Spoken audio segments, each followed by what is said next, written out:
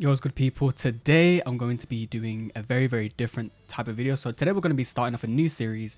We're going to be analyzing, as you can see, my name is Please Address.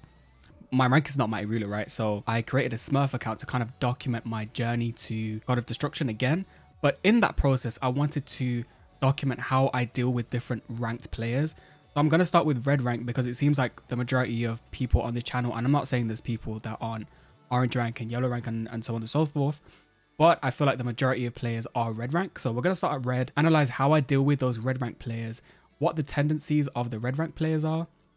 Then we're going to move to purple rank. So Mighty Ruler went up. Then we're going to move to blue ranks. Then we're going to move to, you know, God rank. So I'm, I think I'm going to stop at Tekken God because at that point, I feel like if you reach Tekken God, you have a good chance of reaching God of Destruction. It's just minor, minor things. Whereas I feel like maybe if you're hard stuck in blue rank, there there is room for improvement. So I am going to stop at Tekken God in terms of this series, but I'm going to start at red rank and then work my way up in terms of analyzing my matches, analyzing my opponents, tendencies, and, and, and ways to exploit what they're doing. Do me a favor, like, comment, subscribe, liking will help with the algorithm. Commenting will help with the algorithm. Just comment an emoji. I'm not gonna lie, I'm getting it's it's kind of hard to keep up with this W stuff, but I'm gonna try my best. So if you comment an emoji, I'll try my best to comment back a W and then you know subscribing will help me know that you enjoy the content before we get into the video i just want to highlight that i am actually a music producer so i i do create instrumentals beats and stuff like that so that's one of my hobbies outside of Tekken outside of work so my stuff is going to be linked in the description and the comments definitely check my links out and you know let me know if you mess with my work let's get into the video. Okay, so we're gonna start with red rank, as I said. I've had a lot of comments that, you know, ask me to commentate over my games. Now, that is very difficult when you play at a high rank and trying to commentate over a game live is very hard. So what I'm going to try and do is use my replays and tips feature to offer my, you know, expertise on certain things. I promoted to my Ruler and then I hopped off. So we're going to actually start with red rank. So let's start with Feng player because I'm actually at the top of orange rank at this point. So it's I'm I'm just easing into red rank. So let's see how I deal with certain things. Okay. So starting off with Feng obviously I know the matchup and a lot of it is knowing matchups, but you can get away with not knowing the matchups if you understand how the kind of collection of players or the selection of players in that rank tend to fight. Now, personally for me, I feel like red ranks don't know how to play their characters very well, so they won't be doing advanced mix-ups, they won't be doing optimal combos, they won't be doing optimal heat stuff. It's mainly strings, as you can see here. He's doing a lot of strings, a lot of uh, punishable lows, um, you know, so it's kind of just about stepping back and understanding what they're doing. And that can be difficult in the first two, obviously. But again, just random shoulder on block and that's actually a punish. So you're going to notice a very obvious pattern that I'm very patient towards these players from that single jabs, downward ones, mids. So see him just backing away, low parry. That was a terrible combo. Actually, yeah, the wall combo wasn't the best. See, random shoulder again. Wrong punish. Strings. Strings. so now I'm putting him in a mix. He doesn't respect it. Also, the thing I will say is that you can actually get away with a little bit more. The lower rank you are, the more you can get away with stuff in general, because there will be some people that do know the matchup. But you will be able to get away with certain things.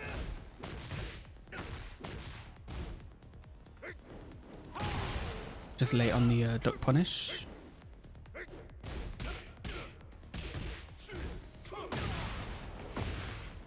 Mash. Just be patient. Honestly, being patient really will really help you in this game. It's only when people start understanding how to use the system mechanics against you very effectively, then the not interaction kind of thing, yeah, you need to start interacting a little bit more. But in these ranks, you can not interact and be fine.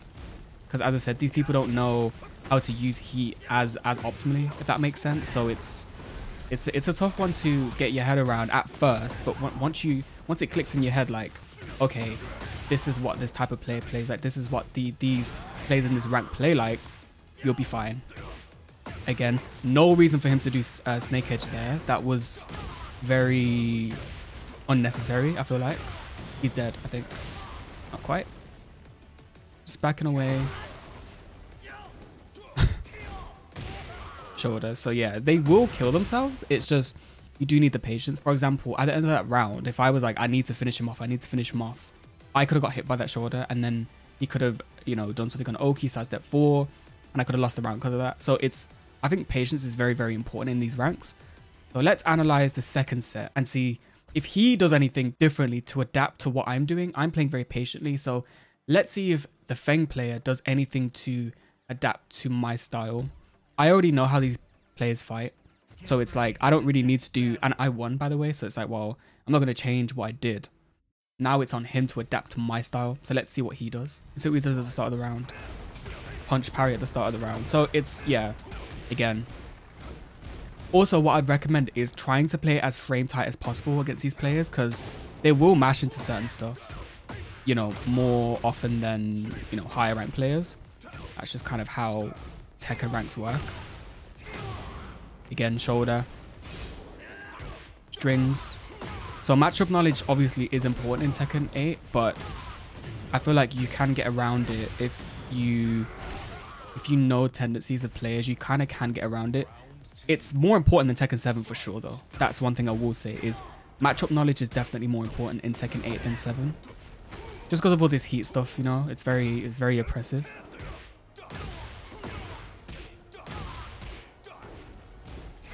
Might have been a bit of lag there. It's a difficult combo. Strings. Random shoulder, launch. Should be dead here, I'm not sure what I did for the combo. Uh, is he dead? Yeah, he's dead. It's a combo. Okay, let's see. See what he does now. Because usually when it's when they're two rounds down, they usually do kind of throw the kitchen sink a little bit.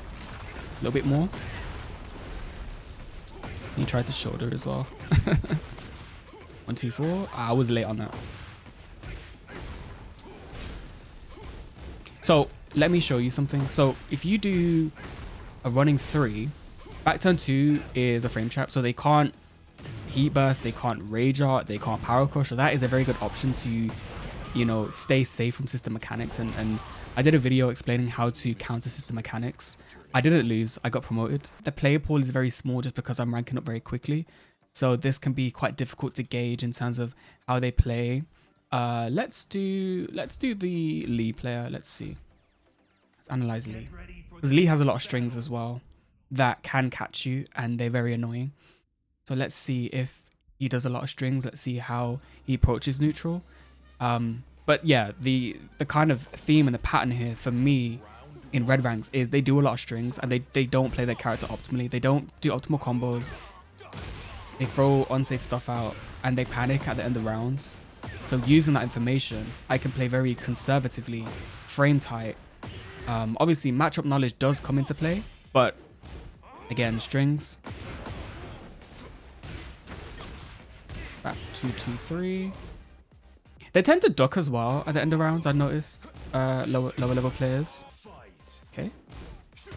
Strings. Missed the whiff punish opportunity there. Lee's a weird one because it's like his 443 propels him so far. It's it's hard to actually that was a nice whiff punish, but it's it's hard to gauge the distance where you need to be optimally to punish him. So that can be a weird move to, you know, whiff punish. Burn heat now. So I've made him waste heat, so he does not have heat anymore.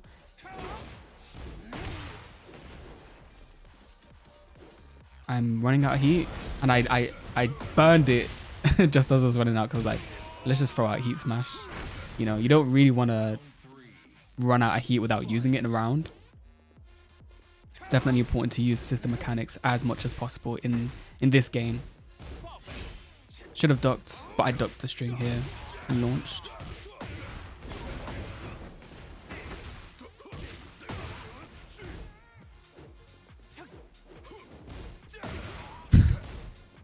Again, you can get away with certain things, which is why I'm doing certain unsafe stuff because I know, okay, I can get away with it. But, you know, see, yeah. That was just good timing on my part. I don't think he did anything necessarily bad there. Just I had good timing on his timing. Terrible combo. Again, the same thing. What does this Lee player do to adapt to me? Does he make any adaptations? Does he make any changes to the way he's approaching Raven? So let's find out and see what kind of changes he does. If I remember correctly, he doesn't make any changes, and that's my point. These players, once you figure out what works against this kind of pool of players, generally, generally speaking, because there will be exceptions, obviously, in any anything you talk about, you can't just generalize everything. But in general, a certain style is going to work. Being frame tight, um, you know, having good matchup knowledge, being patient at the end of rounds, and just being patient on Oki situations as well. They do tend to kill themselves a lot in those situations, in my experience. So definitely, and doing immediate timing mix-ups as well, because sometimes when I'm trying to think too much, when I'm trying to mix people up too much, it doesn't work. I tend to just stick to immediate timing when I'm fighting lower level players. And I find that that gives me the most success in terms of mix pe mixing people up because they will just mash because they don't know what you're doing. They'll just mash. So again, immediate timing. Imagine if I teleported there, what I would have gotten hit, right? So let's see. I should have launched it. That's also another move that is very hard to gauge in terms of how far you need to be to punish it because he can space it to where it's not launched. So that's that's difficult to deal with as well. Okay, that's fine. Punish. See what I mean? I tried to launch it then, it just wasn't launched. He spaced it well. That was good spacing by him to make it safer than launch because it's still punishable, but at that range, I think it would have been minus 11 or something like that. So while standing four. Let's see. Yeah, he's not really making any adaptations, to be honest. It's just like, I, I think he's not doing as many strings. That's the one thing I will say. So he's not doing as much 223. As I said it, he did it. Maybe not. Maybe he panicked. I don't know. But I was going to say that he wasn't doing as many strings, which were getting him killed. So right now, I'm just going for immediate timing mixes.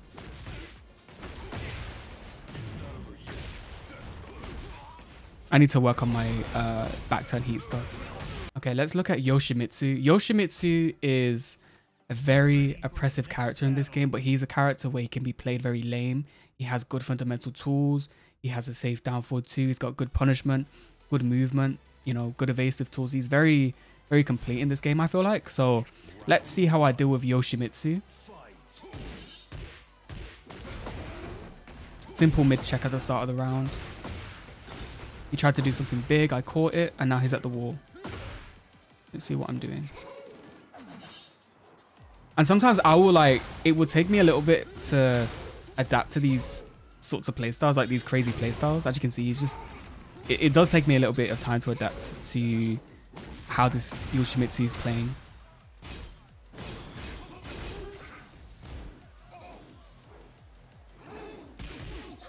Okay. Take him to the wall. Ah, drop the combo. Heat smash.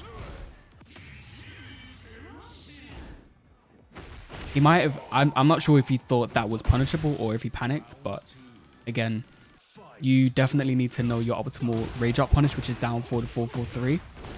That we get you the most damage.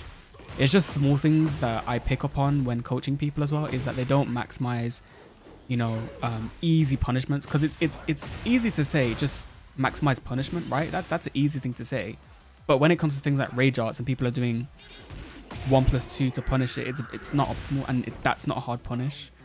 Down to four four three after rage art, you can just mash down to four four four four four and then press three, you know. So not necessarily hard punish, but this is what I mean. Just small things you really do need to capitalize on. Terrible punish. Should have just jabbed. Okay.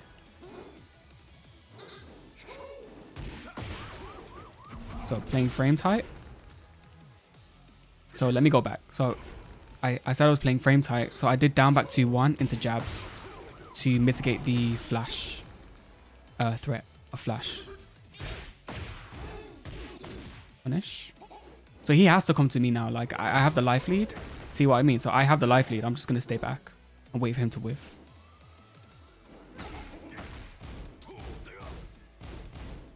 Should have punished it. That's unsafe.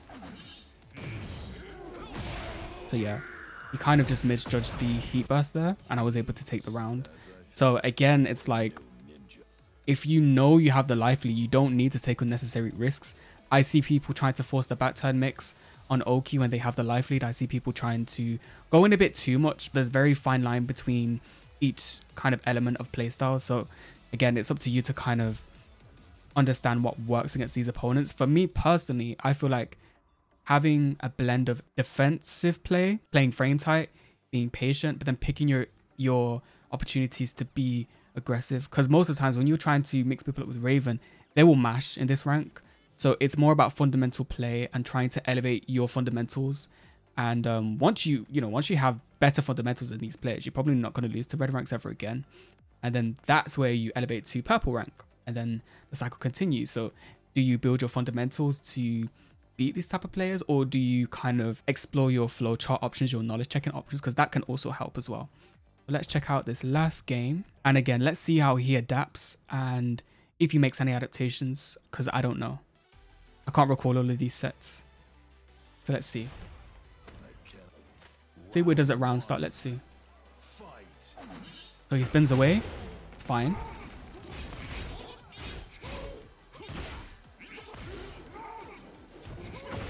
That was nice. Okay. So he killed himself a little bit. Didn't need to do that. I knew he was going to duck, so I just did it. And again, I can get away with strings and stuff in, in this rank, so that's why I'm doing it. Nice. Again, killed himself. Didn't need to do that. I was grounded. Like, he didn't need to do that. You know what I mean? So, again, just having that little bit of extra patience will really help you in, in this rank. I would say, I mean, in Tekken in general, but especially in this rank. Will really, really help you.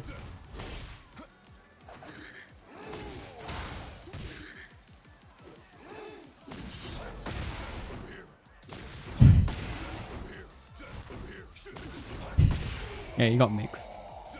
Just standing there, I, I don't know. Okay.